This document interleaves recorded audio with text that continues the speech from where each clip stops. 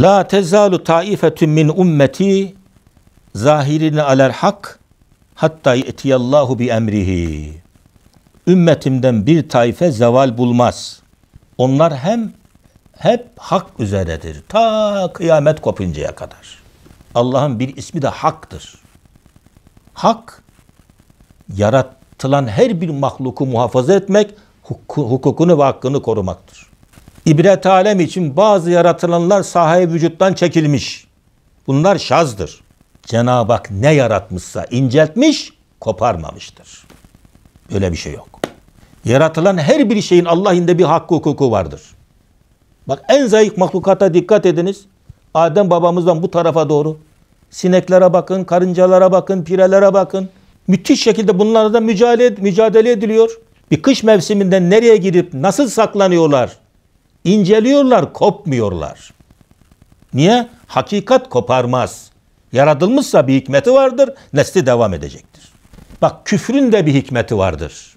Allah küfrü imtihan için ne yapmıştır? Ortaya koymuştur. Şeytanın için yaratmıştır. Bir mümin ne kadar imanı mükemmel olursa olsun yine onda bil kuvve küfür tohumu vardır. İncelir kopmaz. Olmasa imtihan olmaz. O insan melek olur. Bir kafirden ne kadar zındık olursa olsun onda küfür galiben vardır. İman mağluben vardır. Nüve olarak vardır. Olmasa geriye dönüşü mümkün olmaz. Küfre giren bir adam yani iman edebiliyor mu sonradan? Ediyor. Demek nüve çekirdek var ki iman ediyor. Yok olmuyor yani.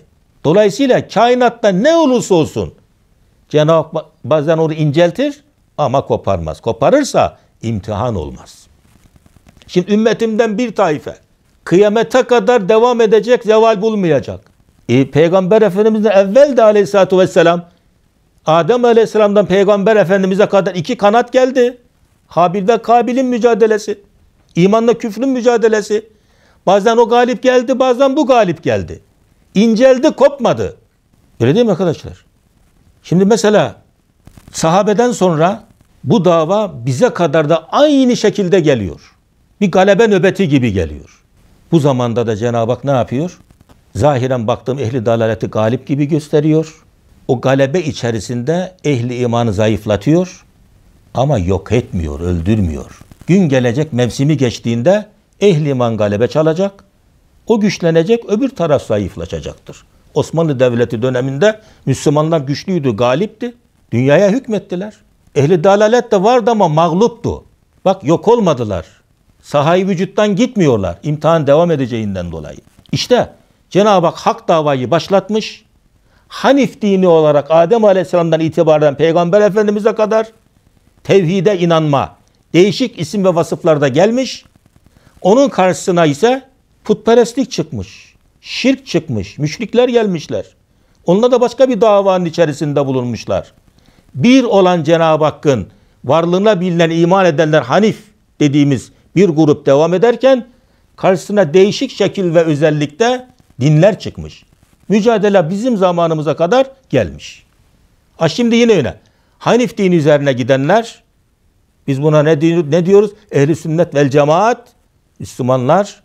İkincisi onun karşısında olanlar Hristiyanlar, ehli kitap, müşrikler veya diyelim materyalistler bir grupta inanmayanlar onun karşısındadır.